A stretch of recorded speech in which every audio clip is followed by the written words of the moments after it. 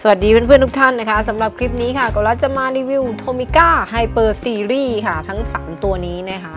ก็ตัวแรกนะคะนั่นก็คือ White Hope ค่ะ ตัวที่ 2 นะคะก็คือ Sonic Interceptor นะคะ แล้วตัวที่ 3 นะคะก็คือ Rescue Backdraft นั่นเองค่ะ เดี๋ยวเราจะแกะกล่องออกมาดูว่าข้างในเป็นยังไงค่ะ จัดไปค่ะสำหรับ White Hope นะคะ 01 White Hope มีต้นแบบมาจากรถพยาบาลค่ะ แล้วก็สามารถแปลงร่างได้ 2 โหมดนะคะ ก็คือเป็นโหมดรถกับโหมดหุ่นยนต์ค่ะ ก็สำหรับอันนี้นะคะก็จะเป็นไวท์โฮปในรูปแบบของรถค่ะ นี่นะคะก็สามารถที่จะเข็นล้อเคลื่อนที่ได้นะคะ แล้วก็ถอดรถพยาบาลออกมาได้ด้วย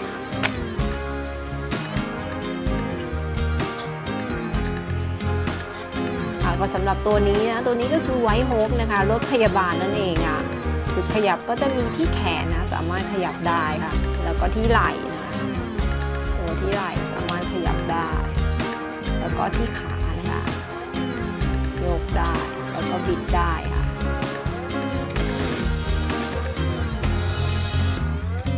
ต่อมาตัวที่ 2 นะคะ นี่ก็คือ Sonic Interceptor ค่ะ ตัวนี้เนี่ยเขาก็ได้แบบมาจากรถตำรวจค่ะ ก็สามารถแปลงเป็นรถ แล้วก็สามารถแปลงเป็นหุ่นยนต์ได้ค่ะ โอเค อันนี้นะคะก็จะเป็น 02 Sonic Interceptor นะคะ ในรูปแบบเป็นรถนะ ก็จะเป็นประมาณนี้ค่ะ ก็สามารถเข็นได้ ก็จะมีล้ออยู่ข้างล่างนะคะ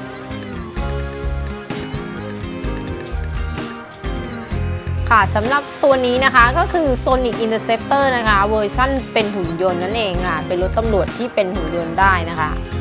ตรงนี้จุดขยับนะก็จะมีช่วงแขนนะคะ สามารถขยับได้แล้วก็มีช่วงไหล่นะ สามารถขยับได้เหมือนกัน มีช่วงขานะคะที่ขยับได้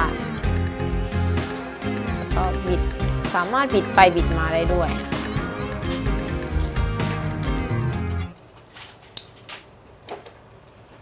พอสำหรับตัวที่ 3 นะคะ ตัวนี้นะคะ ชื่อว่า Rescue Backdraft ค่ะ ตัวนี้ก็ได้ต้นแบบมาจากรถดับเพลิงค่ะ สามารถแปลงร่างเป็นรถดับเพลิงได้ แล้วก็แปลงกลายเป็นหุ่นยนต์ได้ด้วยค่ะ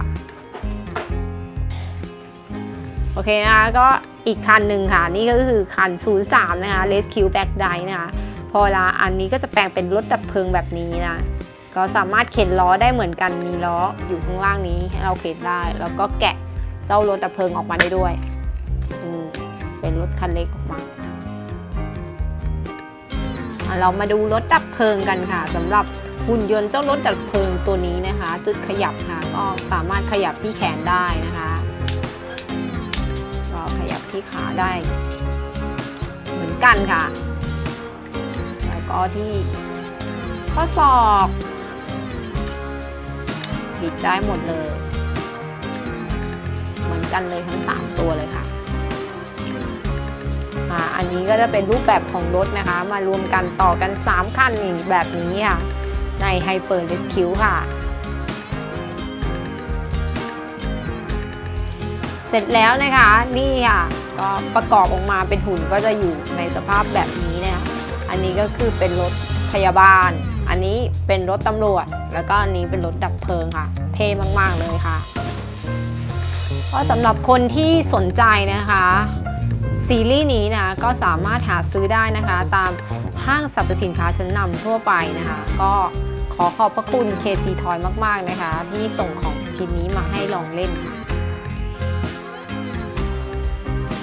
ก็สำหรับคลิปนี้นะคะก่อนแล้วก็ขอจบการรีวิวแต่เพียงเท่านี้ค่ะ ครั้งหน้านะจะเอาอะไรมาให้ดูอีกอย่าลืมติดตามกัน อย่าลืมกด subscribe กดไลค์กดแชร์ด้วยล่ะ ไปแล้วบ๊ายบาย สวัสดีค่ะ